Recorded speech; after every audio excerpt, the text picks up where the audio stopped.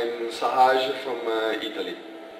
Uh, what I discovered here in the Siddhi Yoga teacher training, it's a very nice family, uh, teachers, they have a lot of knowledge, uh, quality, a lot of experience. Uh, but what I can say, the most important thing is they, they have a lot of love to share, and this is uh, something that for me is very important.